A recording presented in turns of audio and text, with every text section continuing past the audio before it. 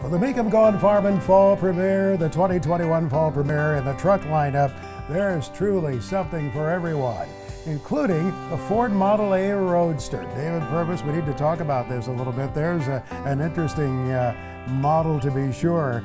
Ford introduced that minor body restyling for the 1930 Model A, most notably the beltline molding, the taller radiator shell, the reshaped hood, a seamless firewall, and smaller wheels. And for 1930, that closed cab pickup was standard, and the open cab Roadster pickup was an extra cost option. So it made those Roadster pickups much rarer than previous year models. It does. And what we have here is the Roadster model, uh, 30 being the second to last year of the Model A.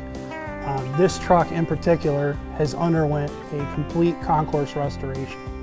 Um, AACA Grand National Senior Award um, which makes it the best of the best.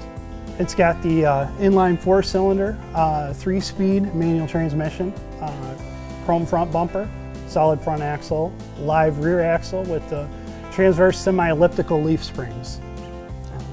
It's a beauty and it's rare. It's very rare. We've probably only seen one or two of these come across our auction block. You'll get to see it at the Mecum Gone Farmin' Fall premiere. Make sure that you are there.